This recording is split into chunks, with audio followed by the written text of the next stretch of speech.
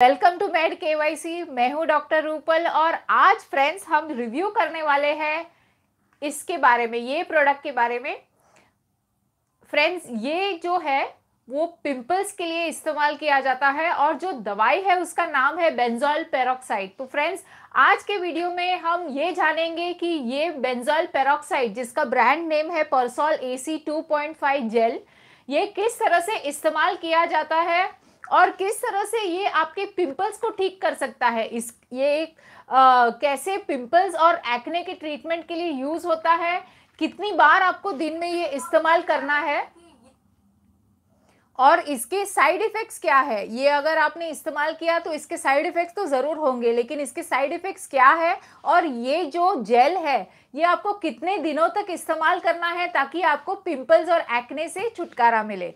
तो welcome to med के Y C शुरुआत करने के पहले फ्रेंड्स हमेशा का जो डिस्क्लेमर है वो फ्रेंड्स ये सीरीज़ में या ये चैनल पे दवाइयाँ जो भी बताई जाती है, वो सिर्फ़ आपके मेडिकल गाइडेंस के लिए, आपके हेल्थ अवेयरनेस के लिए है और ये जो भी दवाइयाँ हम लोग इसके बारे में जानकारी देते हैं, वो इसलिए कि आपको पता चले कि आप जो रोज़मर्रा की ज़िंदगी में जो मेडिसिन लेते हो, आपको जो दवाइयाँ प्रिस्क्राइब की जाती है, उससे किस तरह से सही तरीके से आपको लेना है? और अगर आपने बिना प्रिस्क्रिप्शन के अपने दोस्तों से पूछकर दवाई खरीद ली तो आपको क्या नुकसान हो सकते हैं, क्या खतरनाक साइड इफेक्ट्स हो सकते हैं? ये सब आपको जानकारी मिले, इसीलिए हम लोग ने ये सीरीज़ स्टार्ट की है।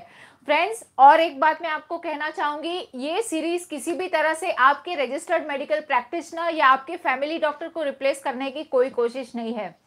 फ्रेंड्स एक बात आप ज़रूर ध्यान रखिए सेल्फ मेडिकेशन करना बहुत ही खतरनाक है और आपकी जान को भी खतरा हो सकता है। इसीलिए कोई भी दवाई आप इस्तेमाल करो तो अपने डॉक्टर से पूछ लेना। इफ़ पॉसिबल तो बिना प्रिस्क्रिप्शन से, बिना प्रिस्क्रिप प्रिस्क्रिप्शन के कोई भी दवाई आप प्लीज़ इस्तेमाल मत करना। ये मेरी रिक्वेस्ट है आपसे। तो चलो फटाफट हम इसके बारे में शुरू करते हैं। इसके बारे में एक रिव्यू करते हैं और इसके बारे में एक थोड़ी सी जानकारी ले लेते हैं। फ्रेंड्स ये है Persol A C two point five gel gel से आपको पता चल गया होगा कि ये एक जेल फॉर्म में आता है। ये 20 ग्राम की ट्यूब है और इसको बनाने वाली जो फार्मास्यूटिकल कंपनी है, वो है वॉलेस फार्मा फ्रेंड्स ये अलग अलग वराइटीज़ में आती है परसोल ये वाली जो Persol A C two point five gel है, ये मुझे मिली है सेवेंटी रुपीज़ में. ये आप आप दवाई की दुकान से खरीद सकते हो या फिर आप ऑनलाइन फार्मेसी से भी खरीद सकते हो। अगर आपको घर बैठे बैठे इसको इस्तेमाल करना है और इसको खरीदना है तो ऑनलाइन फार्मेसी से किस तरह से खरीदा जाए और उस इसको खरीदने के लिए का लिंक मैंने डिस्क्रिप्शन बॉक्स में दिया है उस वो लिंक को यूज़ करके आप इसको खरीद सकते हो। तो चलो ये तो हो गई इसकी बात ये सेवेंटी रुपीज़ में मुझे मिलता है। फ्रेंड्स इसका जो आ, और भी दूसरे जो वेरिएशंस है वो एक और आता है जैसे कि परसोल फोर्ट सेम कंपनी का है लेकिन नाम है उसका परसोल फोर्ट उसमें परसोल यानी उसमें बेंजोइल पेरोक्साइड के साथ साथ सल्फ़र भी मिक्स किया आ, किया गया है। लेकिन इसमें आ, ये जो है ये बेसिक दवाई है इससे वो ज़्यादा बेटर है ऐसा कुछ नहीं है सिर्फ़ थोड़ा सा महँगा है। आप ये इस्तेमाल करो तो आपके पिंपल्स ठीक हो जाएँगे।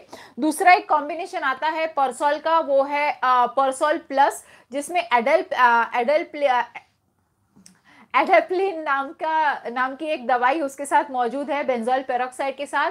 तो ऐसा माना जाता है कि वो थोड़ा सा ज़्यादा स्ट्रॉन्ग है। लेकिन फ्रेंड्स मेरे पर्सनल एक्सपीरियंस में मैंने ये इस्तेमाल किया है मेरे पिंपल्स के लिए तो मुझे इससे काफ़ी आराम पड़ा और ज़्यादा स्ट्रॉन्ग दवाई लेने की कोई ज़रूरत नहीं है, ज़्यादा खर्चा करने की भी कोई ज़रूरत नहीं है। तो फ्रेंड्स ये जो परसोल है, यानी कि बेंजोल पेरोक्साइड है, ये किस तरह से काम करता है? इसका मैकेनिज्म ऑफ़ एक्शन क्या है?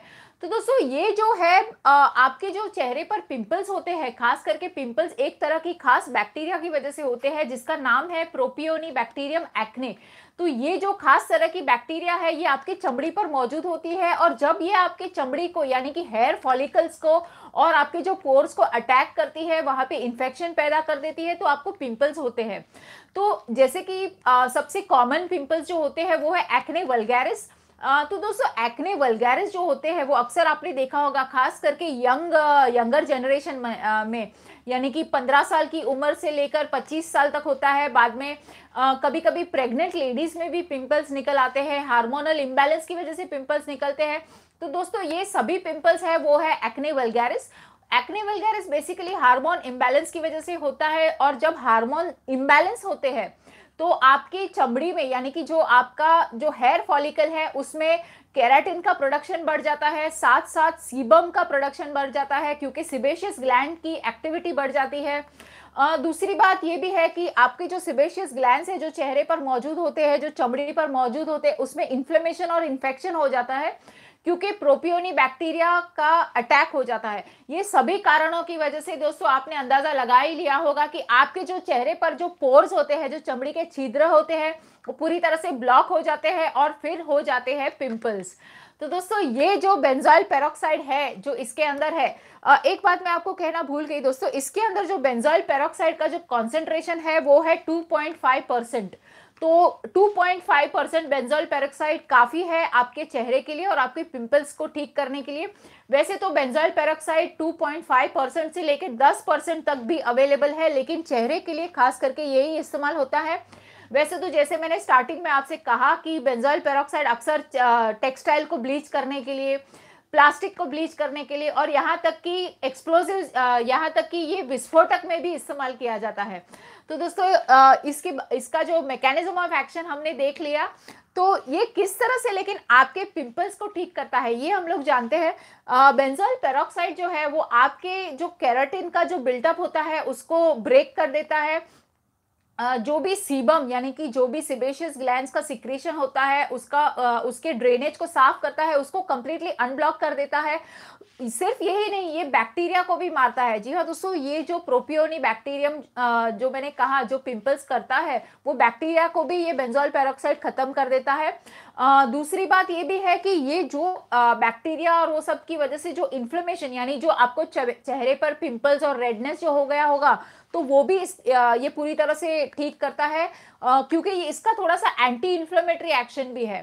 तो दोस्तों, अब तक तो हमने देखा कि किस तरह से बेंजोइल पेरोक्साइड काम करता है, किस तरह कौन से कौन से वेरिएशन में ये अवेलेबल है, इसके क्या यूजेस है। तो अब हम आगे जानेंगे कि इसका क्या डोज है, किस तरह से आपको इस्तेमाल करना है, ताकि आपको मैक्सिमम इफ़ेक्ट मिले, आपके पिंपल्स पूरी तरह से ठीक हो जाए, और इसके साइड इफेक्ट्स क्या है।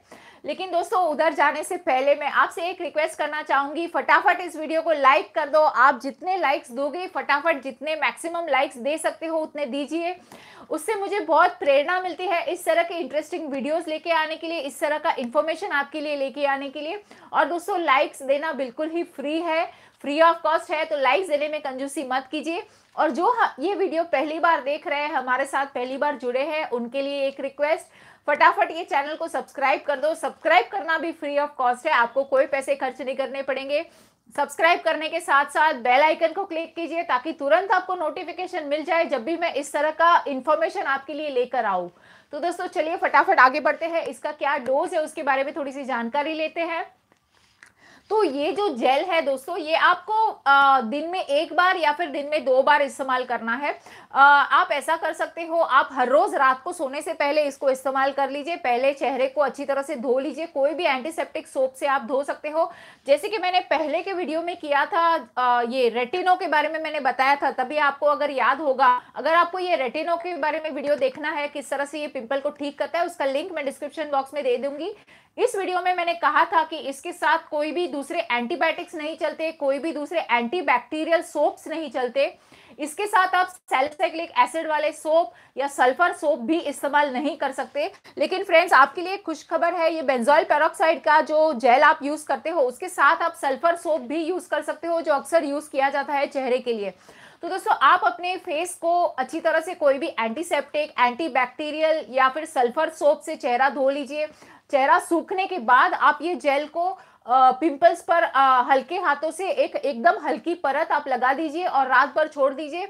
दूसरे दिन आप अपने चेहरे को अच्छी तरह से साबुन साबुन और पानी से या गुनगुने पानी से धो सकते हो।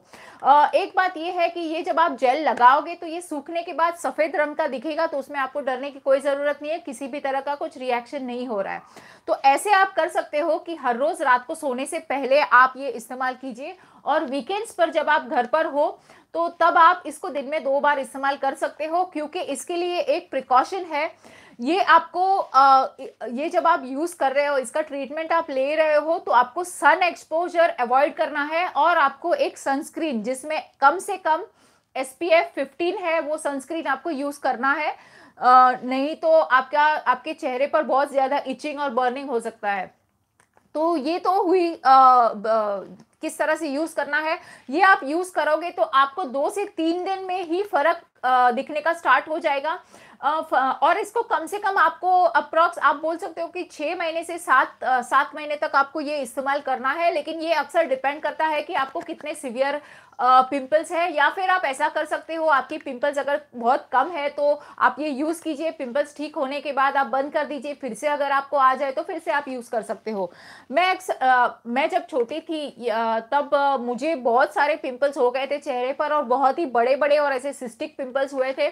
तो जब मेरे पिंपल्स बहुत ज़्यादा थे तब मैंने ये रेटिनो क्रीम यूज़ किया था। आ, उसमें मैंने ज़ीरो पॉइंट जो सबसे कम कॉन्सेंट्रेशन वाला यूज़ किया था जो zero point zero two five retino cream है। ये मैंने यूज़ किया था। ये यूज़ करने के छः सात महीने के बाद मेरे पिंपल्स काफ़ी कम हो गए थे तो वो कम वाले पिंपल्स को ठीक करने के लिए मैं परसॉल यूज़ करती थी। तो इस तरह से आप कर सकते हो। अगर आपके पिंपल्स बहुत ज़्यादा है तो थोड़ा सा रेटिनो का ट्रीटमेंट कर लीजिए। पिंपल्स कम होने के बाद आप ये यूज़ कर सकते हो, या फिर जस्ट आपको स्टार्ट हुए हैं पिंपल्स तो उसके लिए ये बेस्ट मेडिसिन है। अभी इसके साइड इफ़ेक्ट्स क्या है?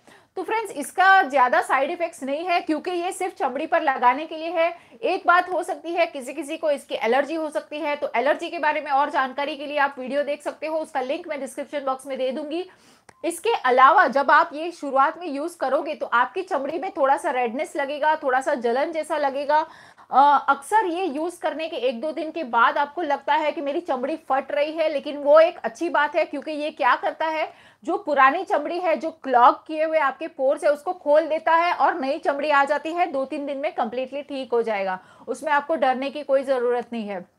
दूसरी बात ये भी है अक्सर कि अगर आपको ड्राई स्किन है तो ड्राई स्किन के लिए ये थोड़ा सा आ, मतलब आपको मॉइस्चराइजर यूज़ करना आ, करना पड़ेगा। थोड़ा सा हर्बल वाला मॉइस्चराइजर आप यूज़ कर लीजिए क्योंकि ये ड्राई स्किन को और भी ज़्यादा ड्राई बना देता है।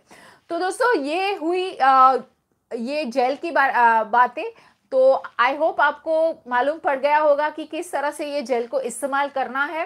फ्रेंड्स फिर से मैं एक बार कहना चाहूँगी कि ये जेल को आपको uh, आप एज एंड वेन बेसिस पे यूज़ कर सकते हो आपके पिंपल्स ठीक हो जाए उसके बाद आप बंद कर दो। फिर से आप आ, आ, लगा सकते हो जब आपको पिंपल्स आ जाए। और और एक बार मैं आपको दोहराना चाहूँगी अगर आपको घर बैठे बैठे ये जेल खरीदना है तो आप ऑनलाइन खरीद सकते हो। इसको ऑनलाइन खरीदने का लिंक मैंने डिस्क्रिप्शन बॉक्स में दिया हुआ है वहाँ से आप खरीद सकते हो। फ्रेंड्स आज के वीडियो में सिर्फ़ इतना ही। आई होप आपको ये वीडियो से ढेर सारी जानकारी मिली है किस तरह से आपके पिंपल्स को कम्प्लीटली ठीक कर सके। अगर आपको इसे जानकारी मिली है तो ये वीडियो को फटाफट आप लाइक और शेयर ज़रूर करना ताकि ज़्यादा से ज़्यादा लोगों को ये इन्फॉर्मेशन मिले और जो नए लोग हैं उनके लिए